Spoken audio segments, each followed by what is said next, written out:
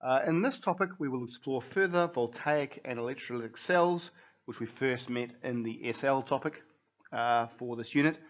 And in particular, you will see the role of the standard electrode potentials play in both types of electrochemical cell. The electrolysis of aqueous solutions will also be discussed in this topic, as well as the quantitative aspects of electrolysis. And these are the learning objectives. Okay, so uh, what a voltaic cell generates, what the standard hydrogen electrode is, uh, when aqueous solutions are electrolyzed, what happens? Uh, we'll interact with delta G uh, and discuss it in terms of electrical uh, cells. Uh, current duration of, electro of electrolysis uh, and the charge of ion effect on electrolysis will be discussed, and we'll look at electroplating. So by the end of the unit, you should be able to calculate cell potentials using standard electrode potentials, predict whether a reaction will be spontaneous using these values, determine the standard free energy changes of these electrode potentials, explain products formed during electrolysis, perform a lab experiment which could include single displacement reactions, determine the relative amounts of products formed during electrolysis, and explain the process of electroplating. So the first thing we're going to look at is cell potentials. So this is a little bit of physics for you uh, and electromotive force, EMF. Okay, so a voltaic cell, which we looked at previously, produces a potential difference known as AEMF. Okay, the voltage essentially is the electromotive force. And the cell potential, or electropotential E, is measured by comparing it to a standard, which is known as the standard hydrogen electrode, or SHE. So the way I would consider looking at EMF is through an analogy. Okay, the idea of an EMF or potential difference can be difficult to understand. However, this analogy hopefully will uh, help. So essentially, imagine you have two water barrels. Okay, so here is uh, water barrel one. Okay, and this is water barrel two. Okay, so we'll call this imaginatively barrel A and barrel B. And they have two different uh, volumes of water. Okay, so one has quite high, one is quite, well, reasonably lower. Okay, so I must make that a little bit lower there, right? So the two are connected by the pipe, obviously, you see before you, okay? And when the connecting pipe is opened, the water will flow from the barrel where the water, is highest, in this case barrel A, uh, through the open pipe to barrel B, where the water level is less. Okay, so basically what's going to happen is that water will flow, and then of course the water level will increase. Okay, so that's essentially the idea of potential difference. Uh, the water will flow from one barrel A, where the water level is higher, to the pipe, to barrel B, where the water level is lower. Barrel A could be described as having a greater potential energy than barrel B. So that's one way of looking at it. And the potential difference, of course, is going to be the difference before you've opened the tap. Okay, so that would be the EMF, I guess okay, or, or voltage.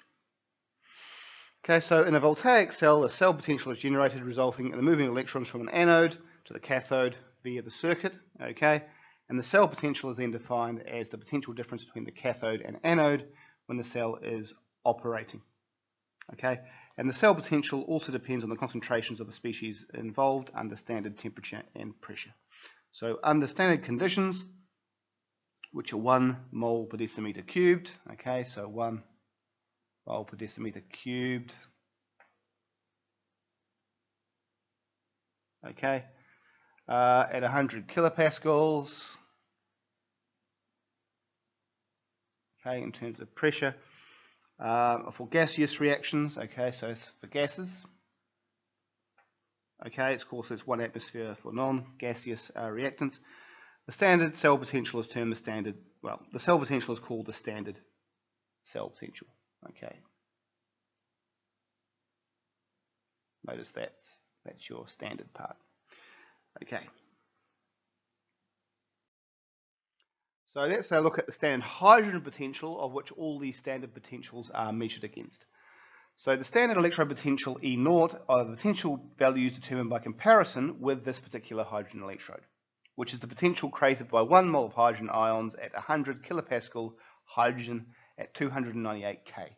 And it has an E naught value of 0.00 volts.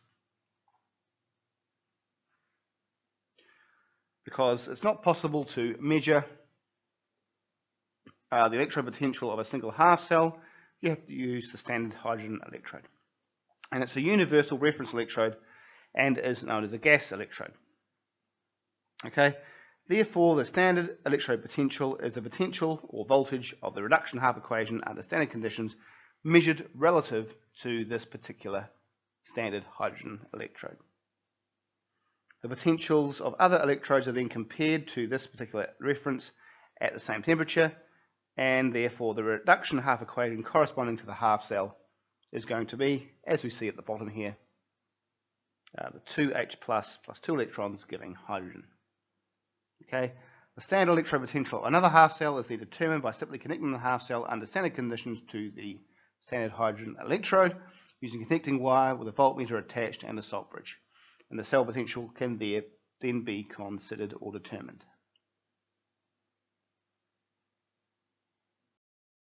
This is how we um, basically measure these E naught values. So here we're using zinc and zinc sulfate solution.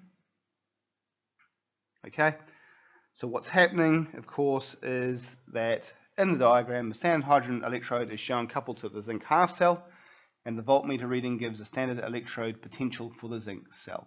Okay, and the standard conditions are temperature of 298 Kelvin, 1 mole concentration, and for gases, for example, the hydrogen, it's 100 kilopascals.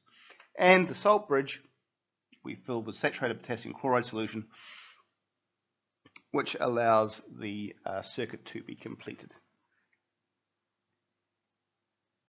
Okay, so what ends up happening is you develop a uh, an electrochemical series, a series of uh, voltages um, for each of the uh, reduction uh, half equations or uh, yeah reduction half equations in rel relative to the standard hydrogen elect electrode okay and the further you go up the more positive E naught is the reaction is more likely to work okay so more positive more likely to work and the species on the left are more powerful oxidation agents. Okay, so that makes sense because fluorine we now know is quite a strong oxidizer, whereas the zinc ion is quite poor. Okay, because the corresponding metal, zinc, is quite a good reducing agent. That kind of makes sense. So if the species are arranged in order of their standard electron potentials, you get a series that shows how good each particular substance is in uh, gaining electrodes. Sorry, gaining electrons. And all reactions are written as reduction processes, i.e. the gaining of electrons in the electrochemical series. Okay.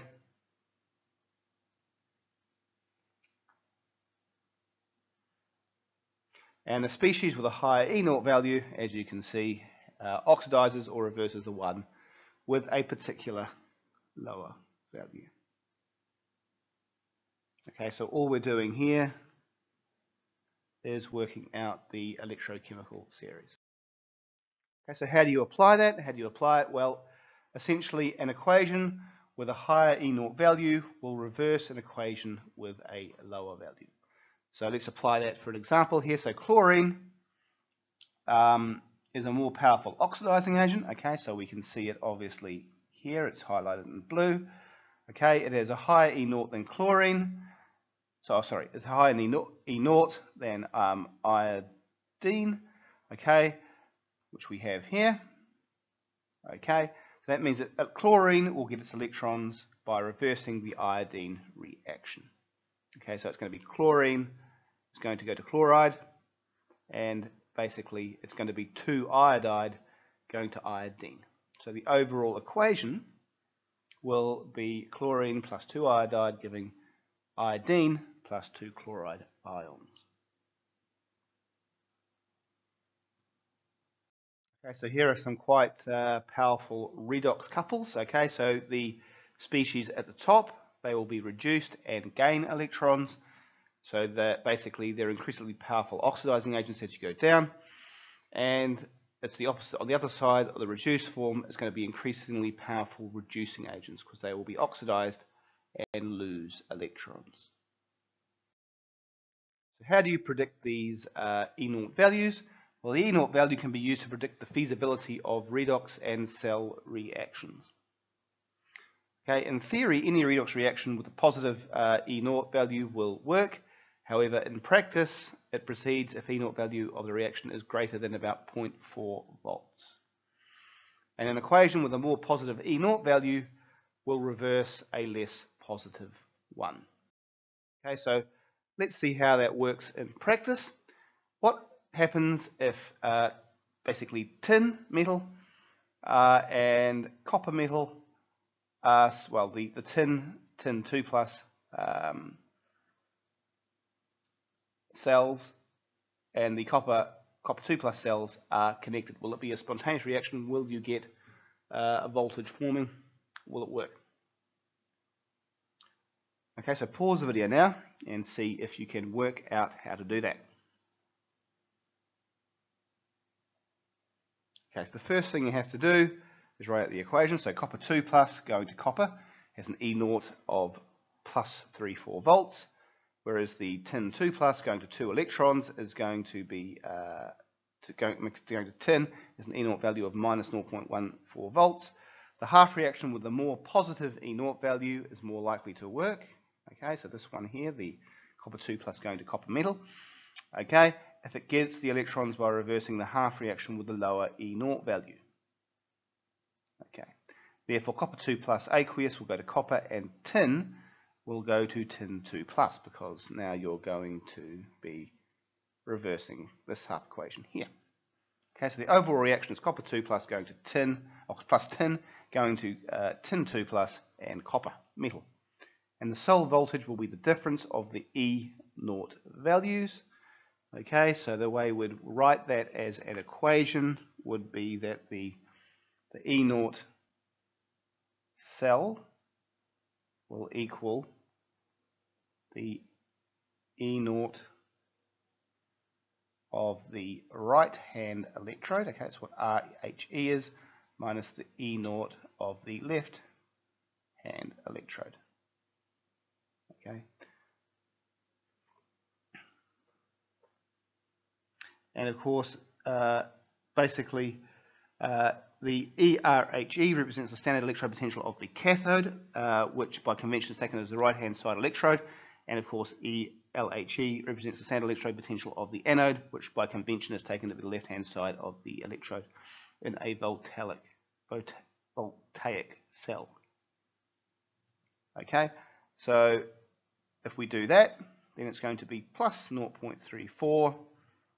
Okay, remembering that um, reduction happens at the cathode.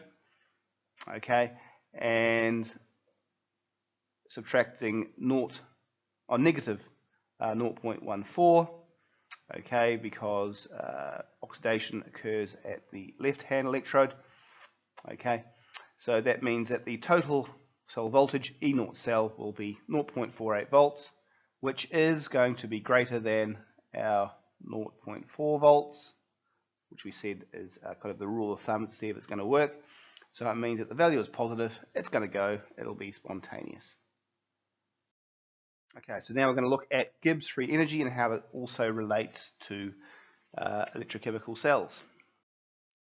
So the electrode potential uh, E naught and the free energy change delta G. Okay, so the equation that uh, you need to know is delta G naught, okay, uh, the Gibbs free energy change under standard conditions equals negative N F E to naught where n is the number of moles and F is a constant called Faraday's constant of the great uh, physicist Michael Faraday.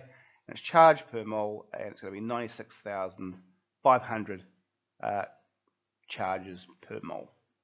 Okay, So for non-standard conditions, we use the Nernst equation, which is found in the data booklet, which is E equals E naught minus RT divided by NF, natural log of Q.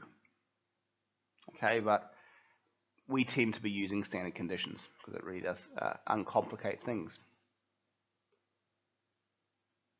Okay, so if delta G naught is negative, the reaction is spontaneous under these standard conditions.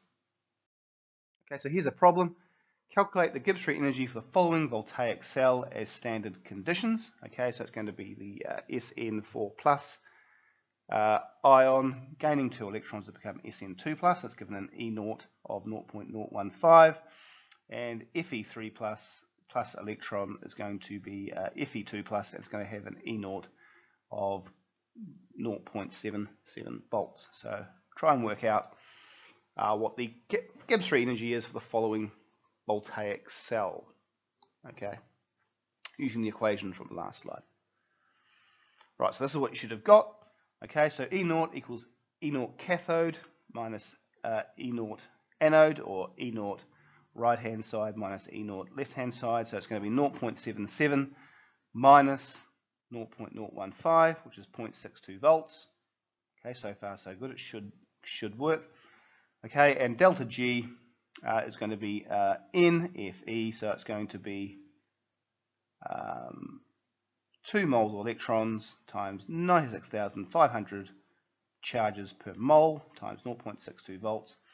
So it's going to be uh, 11,900, what was that right? No, 11,009,660 volts per coulomb. Of course, we know that volts per coulomb from your physics is going to be to a joule.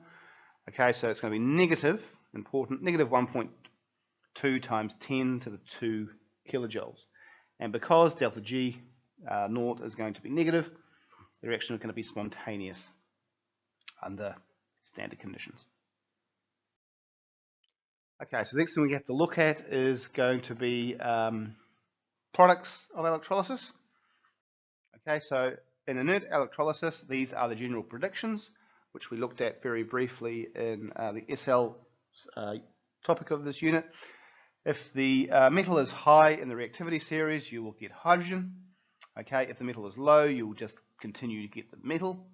Okay, and if the halide solution is concentrated, you will get a halogen, either chlorine, bromine, or iodine. Where, whereas with other common negative ions, you will get oxygen. So, for example, hydroxide uh, and sulfate. So those are our, our basic predictions. Right, so the products of electrolysis. So at the cathode, you will form um, a metal or hydrogen, and at the anode, you will form either a non-metal or form oxygen or the oxidation of the electrode. A case being, uh, if you have carbon as your electrode, then it's going to be oxidized to carbon dioxide. Okay, and this is where we can use standard electron potentials to determine the products of electrolysis in um, four simple steps. Okay, so the first thing you have to do is determine which products go to the cathode and which are going to go to the anode. But the cathode determines which cation has the most uh, positive electrode potential. Okay, this will uh, be reduced, it will gain electrons, and the higher the positive potential value, the more naturally a reaction will occur. Okay, so atom plus the electron will give a, a negative ion. For the anode, okay, it's going to be the reverse of the cathode. Okay, so you reverse the reactions in electrode potential values, so negative becomes positive, positive becomes negative, for determining which is the most positive and likely to occur, because you've got the ion going to a positive, um, ion going to an atom, okay, so it's going to be an atom and an electron. Okay, so include all your setting out. And what we're going to do now is just go through some examples, okay, to work out what's going to happen in each of these particular situations. So let's now look at the electrolysis of copper sulfate in uh, a solution, so aqueous. Okay, so first thing is that we use an inert electrode, and the formula for aqueous copper 2 sulfate, of course, is CuSO4. So the first thing we do is we consider the species present at each electrode. Okay, so at the cathode, we're going to have the copper 2 plus floating about, and also we're going to have a lot of water because it's going to be in solution. Okay, then at the anode, the positive electrode, we're going to have the sulfate, okay, and again, water. So the next thing we do is let's look at the next uh, possible half equations that may take place at the cathode. Okay, so at the cathode or negative electrode, reduction takes place. So with reduction, that's gaining of electrons. So we have copper 2 plus gaining electrons to become copper, which has an E naught uh, value of plus 34 volts. Okay, and water can gain an electron to become hydrogen and hydroxide.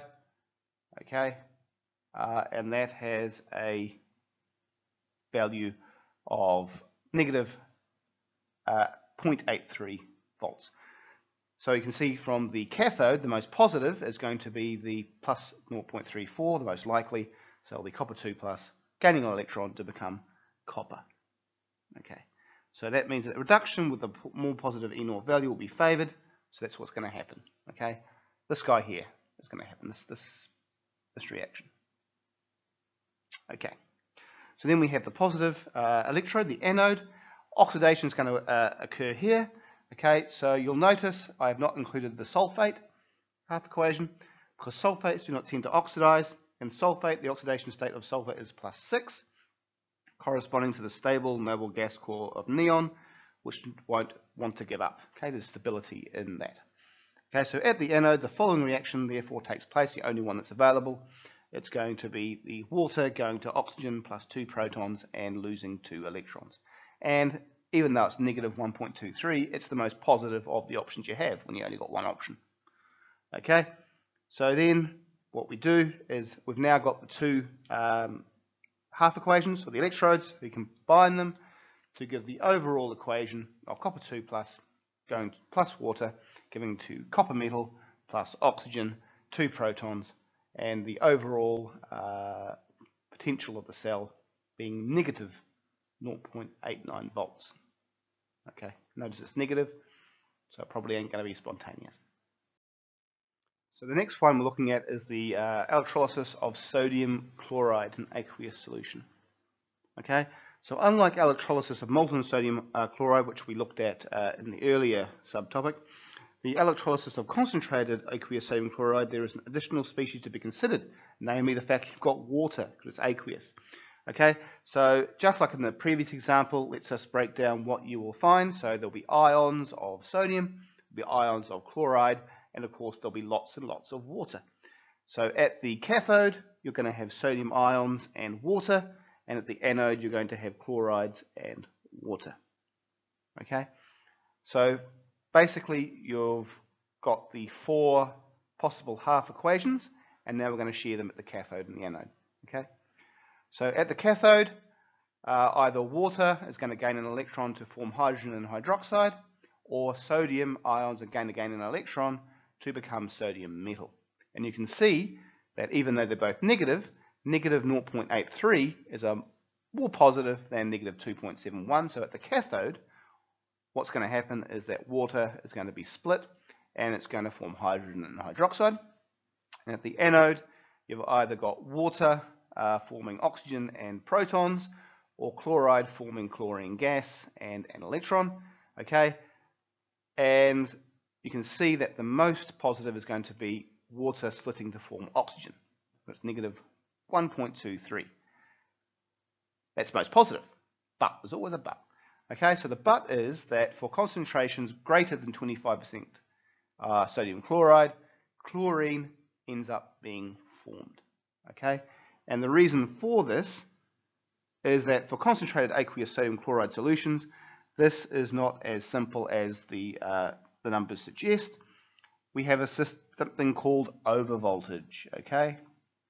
Overvoltage, okay?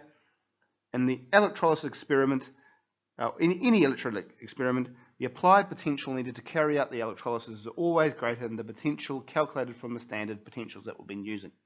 This extra difference in the potential or voltage is called the overvoltage. Many reactions taking place at electrodes are extremely slow. Therefore, the additional voltage effectively is an extra voltage required for a reaction with a slow rate to proceed at a reasonable rate. So as a result, the oxidation reaction taking place at the anode would actually require a potential greater than 1.23 volts to occur. Okay, and the vo over voltage for oxygen gas formation is quite high compared to that for chlorine gas. This suggests that at the anode, in a concentrated solution of sodium chloride, greater than 25%, the chloride ions are actually reduced to chlorine gas, which is actually what we do observe experimentally. Note, however, this can only be confirmed through experiment. Still, in the case of dilute aqueous solution of sodium chloride, overvoltage does not play such an important part, so therefore we can still rely on these particular values. Okay, so for a concentrated solution of sodium aqueous sodium chloride called brine, uh, you end up forming chlorine. For a dilute solution, then you're going to form uh, oxygen. Okay, because you get the final equation then uh, for solutions greater than 25% uh, sodium chloride of water plus two chloride ions giving chlorine gas, nice green gas uh, at the anode, and hydrogen plus two hydroxides. And the final one we're going to look at is the electrolysis of water. Okay, so water can be electrolyzed with a weak sulfuric acid, okay, or a weak acid. I've chosen sulfuric acid for this. So if you just use a drop of uh, sulfuric acid, then you're going to have sulfate ions in solution, you're going to have water in solution, and you're going to have protons in solution. Okay, so the, the two half equations uh, that you're going to look at are going to be oxygen gaining an electron to form water, or hydrogen uh, gaining an electron to form, or protons gaining an electron to form hydrogen, which of course is your standard hydrogen electrode, electrode anyway, so it's going to have zero. Okay, so we don't consider sulfate for the reasons outlined earlier. So at the cathode, you've got protons um, gaining electrons to become hydrogen, which is going to be zero, which is the most positive of your options because you only got one. And the anode is going to have water forming uh, oxygen and two hydrogens, okay, which are going to be most positive. Again, you've only got one option. So basically, water gets split into oxygen and hydrogen. That's pretty straightforward. So the factors affecting the relative amounts of products in electrolysis, well, you can consider the charge of ion, okay? So as the uh, charge increases, the amount of product decreases, and as the charge uh, decreases, the amount of product increases. And the current flowing through the circuit, as you uh, increase the current, the amount of product increases because you're providing more uh, electrical energy. And if you decrease it, the amount of product decreases. And the longer you uh, allow electrolysis to occur, the amount of product increases. And obviously, the shorter time you do the reaction, the amount of products decreases. And another example is going to be uh, electroplating. It's quite a common use of uh, electrolysis. Okay. And what is electroplating? Well, electroplating essentially, as you can see, is in this particular example, you have some pure um, silver as the uh, positive anode. Okay, you've got silver nitrate possibly as your electrode, and you have the, the metal that you wish to electroplate forms the, the cathode, negative cathode. Okay, so you, you apply current, and what's going to happen is that at the silver anode, uh, the silver metal is going to form silver ions and electrons. Okay, so it'll get smaller, and basically the silver nitrate solution, silver ions in the solution, the electrolyte, are going to gain electrons and then deposit on your um, your metal um, cathode as metal uh, as silver metal. That's going to be reduction. So essentially in electroplating, the item to be coated is placed on the negative uh, electrode, so the metal cations will be reduced. The anode, uh, anode may be a metal block. Uh, often the solution is cyanide, so it's quite a exciting uh, reaction to do uh, because you've got cyanide involved. Uh, the anode dissolves and releases the cations in solution, as we saw in the, in the diagram in the previous slide and temperature current, uh, what the actual metal is made of, and the concentration of the solution are all rigorously controlled. In terms of applications, well, electroplating can be applied in many ways, but here's just four examples. Okay, so uh, jewelry, the cheaper to coat with gold uh, than make out of pure gold. Tin cans, it's because coating the tin protects the cans from rust because it's a, kind of a sacrificial metal. Uh, car parts and tools, coating with nickel and chromium decreases friction, preventing rust, makes it look pretty as well. And galvanizing, uh, again, coating this time with zinc metal to prevent uh, rusting of the iron. It's used in car bodies, pipes, wire and sheeting and also boats quite a lot. Okay, so the last thing we're going to touch upon is quantitative electrolysis or Q equals IT where Q is in charge, measured in coulombs, uh, I is current, measured in amps, and T is time, of course, measured in seconds. So what we're going to do now is just basically break down the different components, okay?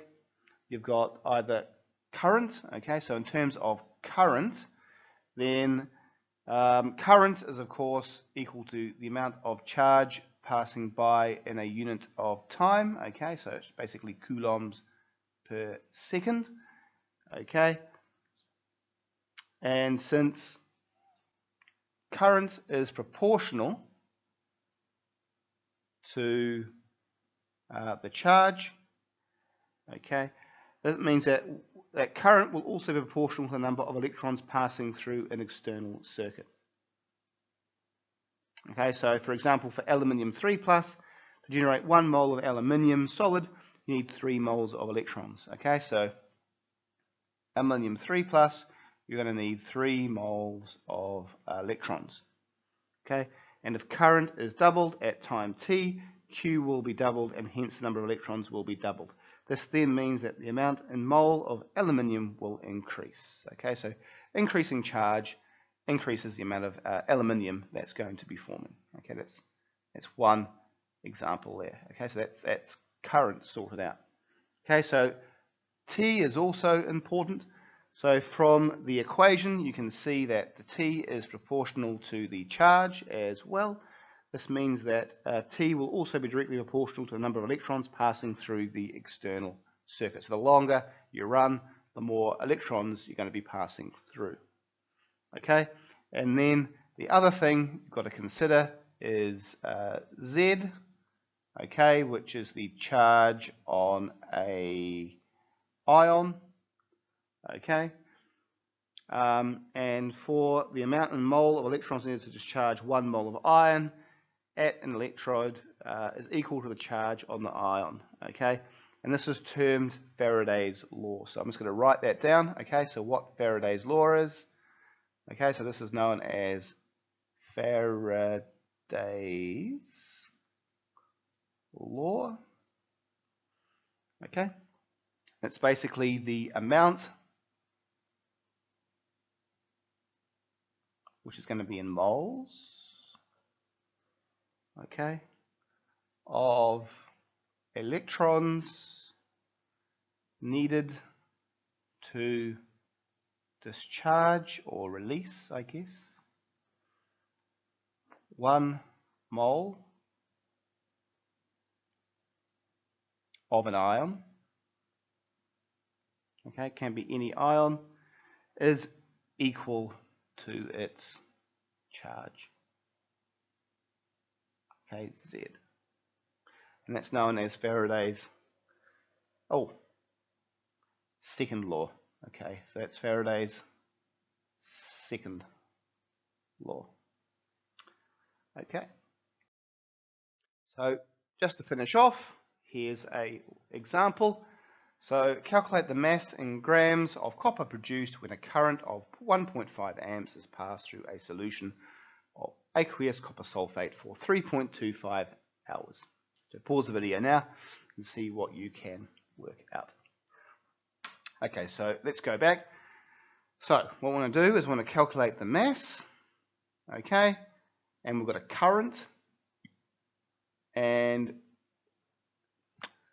it's going to be copper 2 maybe somewhere involved, and 3.25 hours. Now, obviously, 3.25 hours, that needs to be converted to seconds. That's the first thing I'm thinking.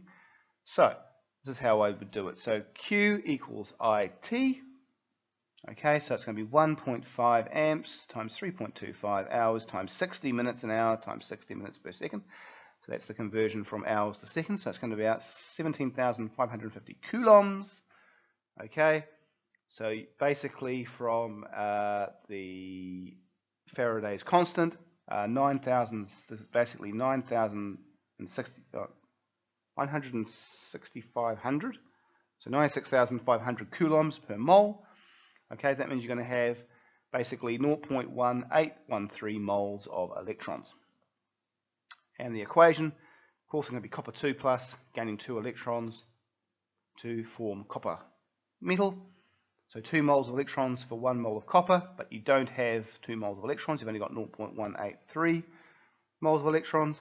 So therefore X is going to be 0.0910 moles of copper. Now, the mass of copper equals number of moles of copper times the molar mass, or at least the atomic mass of, of copper.